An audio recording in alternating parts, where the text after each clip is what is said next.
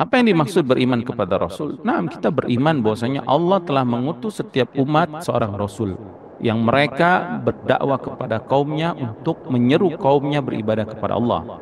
Qala ya qaumi ibudullaha ma lakum min ilahin ghairu. Dalam surah Al-A'raf itu baik Nabi Nuh alaihissalam, Nabi Hud, ya Nabi Saleh, Nabi Shu'aib, Lut, juga Nabi Musa alaihi wassalatu wassalam semua para nabi dan rasul dakwanya sama menyeru manusia beribadah kepada Allah dan mengkufurkan atau mengingkari peribadahan kepada selain Allah. Dan semuanya itu mereka orang yang jujur dan dibenarkan.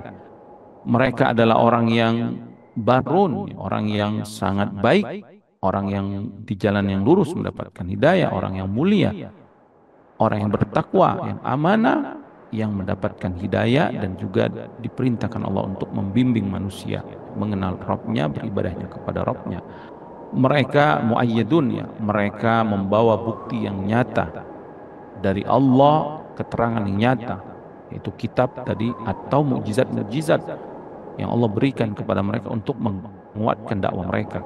Dan mereka telah menyampaikan semua risalah Rob nggak ada yang disembunyikan